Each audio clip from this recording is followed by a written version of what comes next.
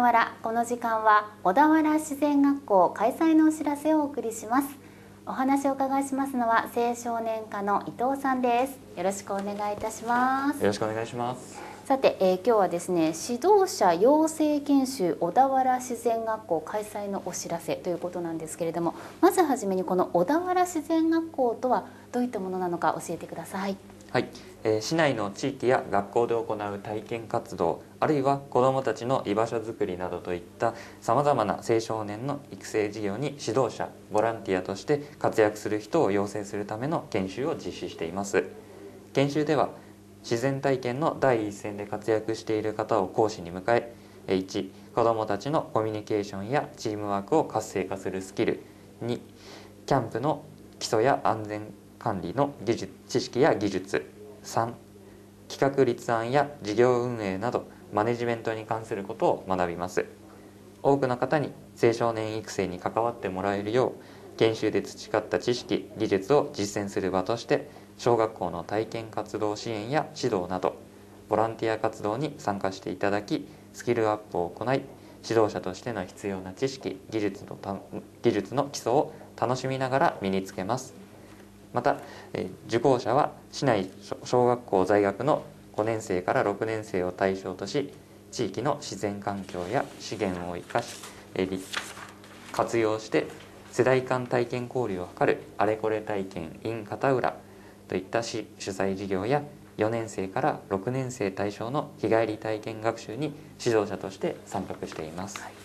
青少年育成や体験活動に興味がある方は小田原自然学校にぜひご参加ください。一緒に子どもたちのために活動していきましょう。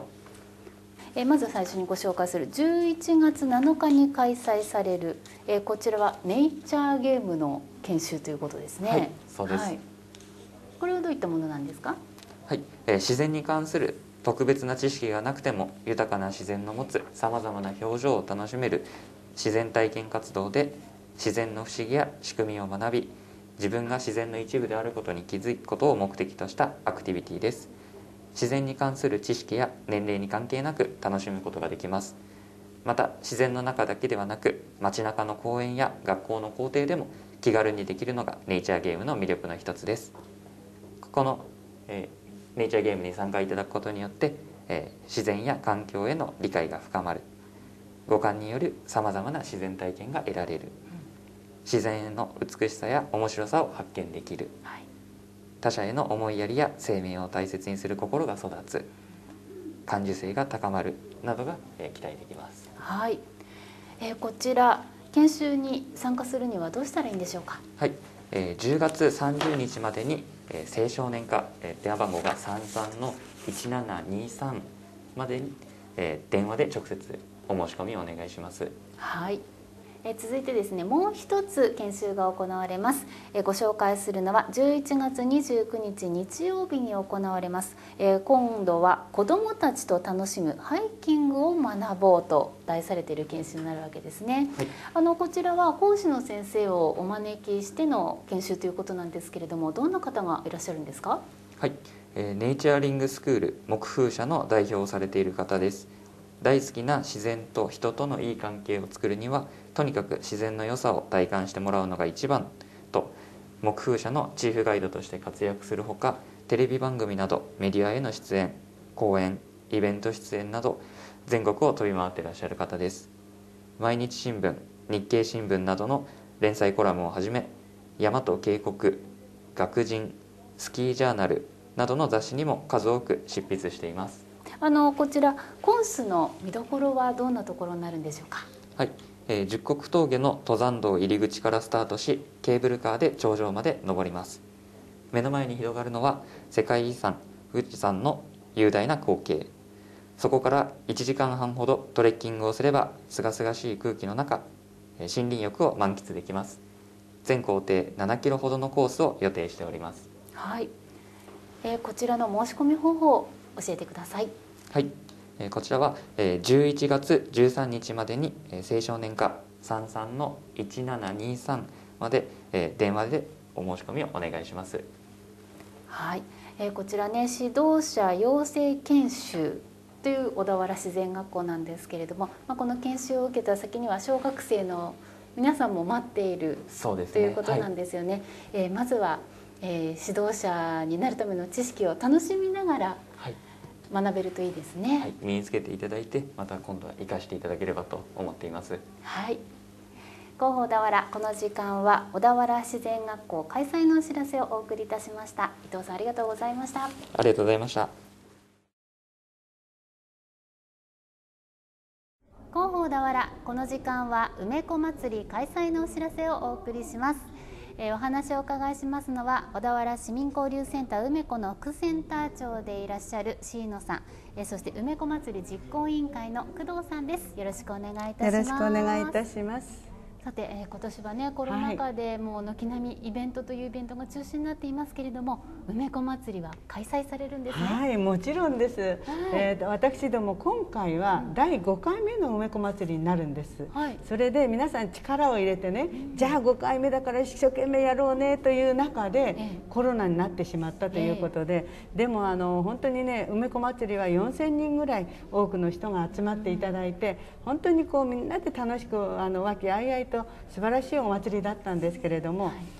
いやこれをねやめるわけにはいかないと、うん、じゃあどうしたらいいかなということで、はい、実行委員の皆さんいっぱい考えていただきまして今年はじゃあ映像でやろうとい。う形で、はい、えー、梅子祭りが映像祭りという形になりました、もうコロナには負けないぞというね皆さんの力強い、えー、意志が統一しまして、えー、えー、やろうという形で、あの皆さんで考えていただきました。はい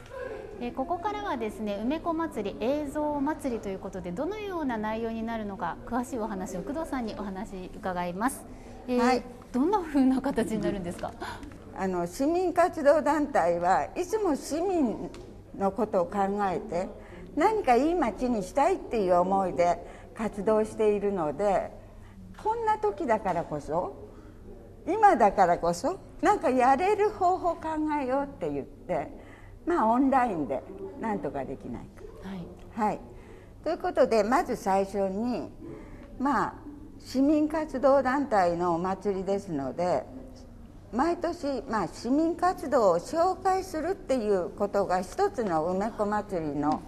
要素でしたので、はい、それはやりましょう、はい、市民活動団体が発信していく。そして市民活動団体同士がそれで刺激をし合っていくそういったものを作ろう。ということで、まあ、団体紹介ビデオというのを考えました、まあ、今最近あのコロナでテレビや、えー、などでも結構歌でつながっていくっていうのありますよね、はい、あれ私たちもやろうっていうことで、はい、それでまあつながる、うんうん、えー、つながるビデオ班というのができまして、はい。うんお猿のかごやがいいっていうことになりまして、はい、で、えーと、ビデオ班がこういった音源を作りました、はい、それで、えーと、皆様が希望されればこれをお渡ししますのでこの音源に乗って歌を歌っていただき、うん、でそれを編集するのはお任せいただくんですけれども、まあ、とにかく皆さんがエースタエースタってつながっていく、はい。うん、そんなビデオを作ろうというのが2つ目です、はい、11月最後の週の日曜日は梅子祭りだっていうことでその日にお祭りライブをやろうっていうことになりました、まあ、今回 Zoom を使うんですけれども Zoom で市民活動団体のいろいろな人たちその中で、えー、いろいろお話し合いをしたり、楽しいことをしたりしていこうというような3本立てで企画をいたしました、どうぞ楽しみにしててください、はい。